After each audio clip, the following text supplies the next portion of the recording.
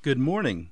You are listening to Upreach, a morning devotional presented by the Church Street Church of Christ in Lewisburg, Tennessee, to encourage you as you face the opportunities and challenges of today.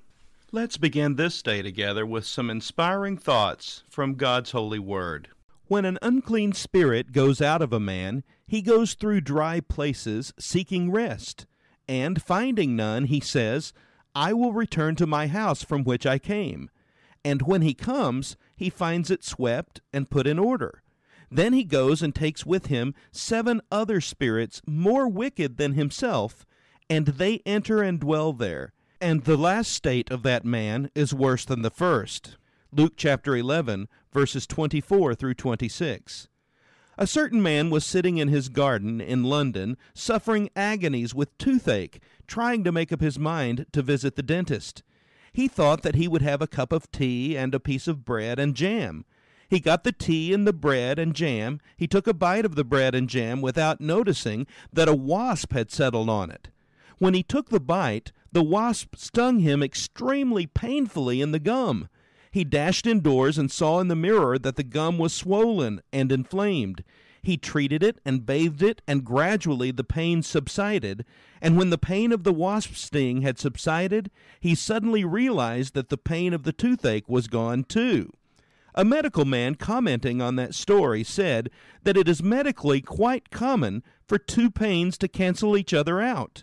In other words, paradoxically, the best way to get rid of one pain is to get another, and then they will eliminate each other. There you have an excellent example of the principle of displacement.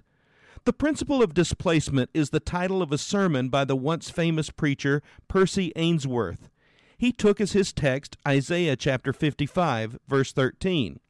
Instead of the thorn shall come up the cypress, Revised Standard Version. The authorized version has fir tree for cypress. If one wanted to clear a piece of ground, he would simply take out a spiky, jagged thorn tree. But one does not leave the ground empty, he puts in a gracious cypress instead. He displaces the one with the other. When a farmer looks at a weedy patch of ground, he tears out the weeds, but he does not then leave the ground empty. He displaces the weeds with a useful crop. In life, the way to get rid of a bad thing is to displace it with a good thing. This is a lesson of the parable of the empty house that we read earlier from Luke chapter 11, verses 24 through 26. The demon is ejected from the house, the house is swept clean, but it is left empty.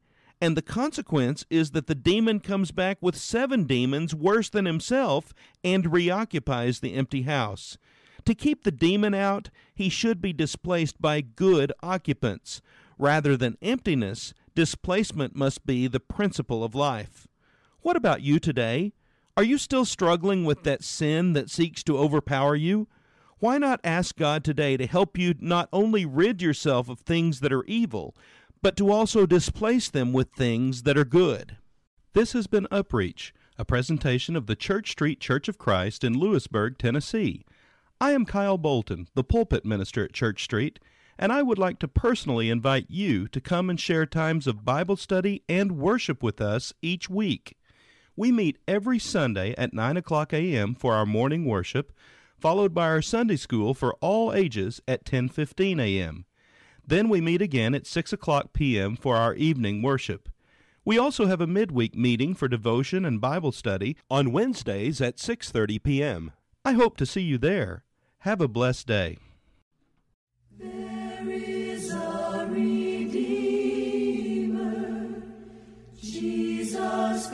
Son,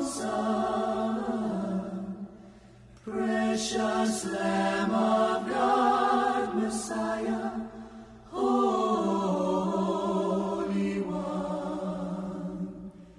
Thank you, oh my Father, for giving us your Son.